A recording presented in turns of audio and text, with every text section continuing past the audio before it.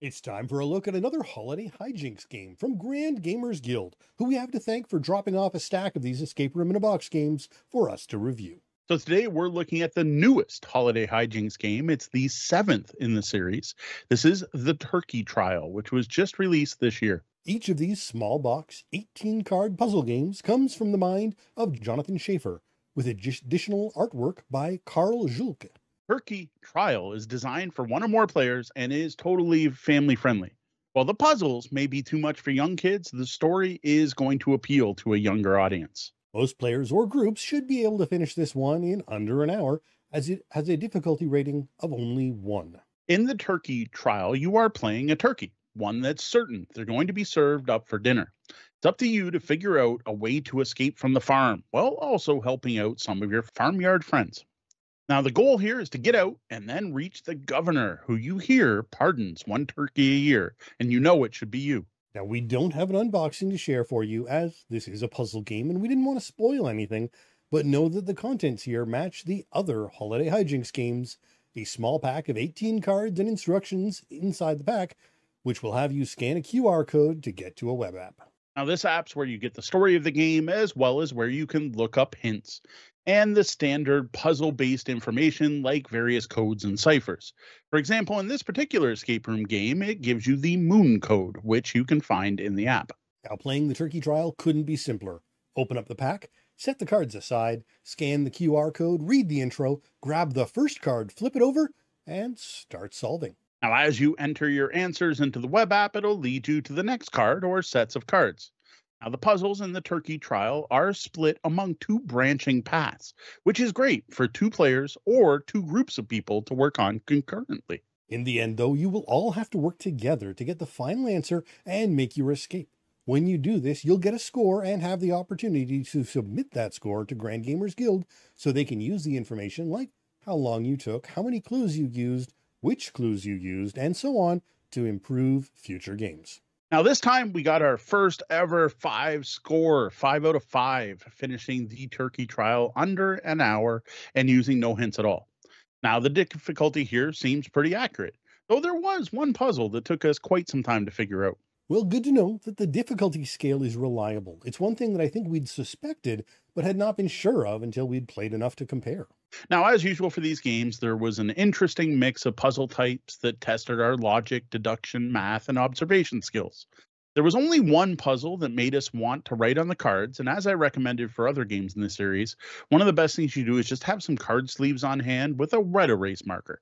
That way you can write on the cards without actually ruining them. Though I suppose even some plastic wrap would, wrap would work in a pinch, though it might be harder to write on than a sleeve. Now, my kids in particular really like the story of this particular holiday hijinks game, with my youngest being really amused by the fact you are actually playing the turkey in this game.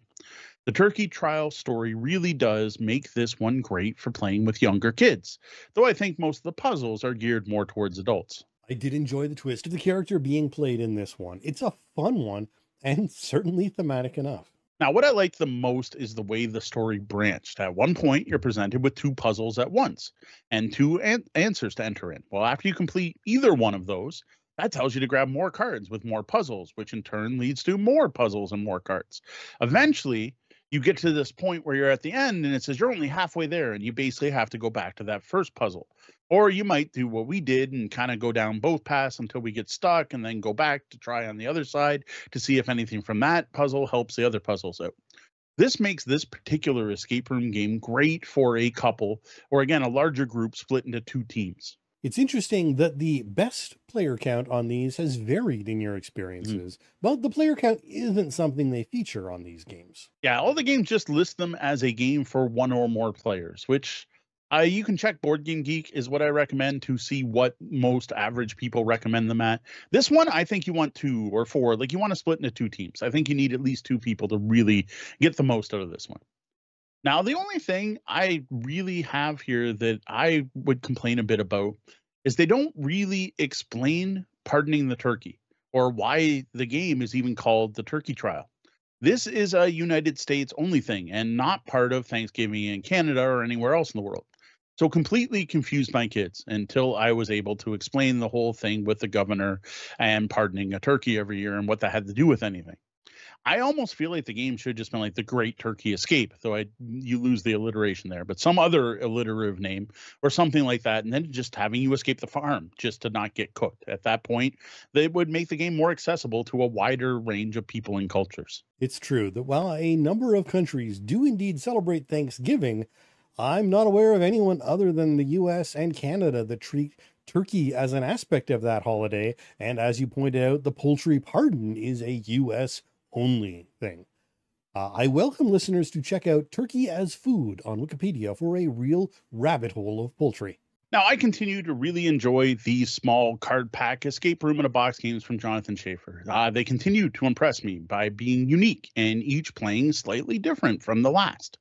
Now, out of the ones I played, this is by far the easiest and probably the most accessible holiday hijinks game I played, as long as you understand the holiday traditions in the United States around Thanksgiving. This one might almost be as market limited as the independence incident when it comes to specificity in holidays.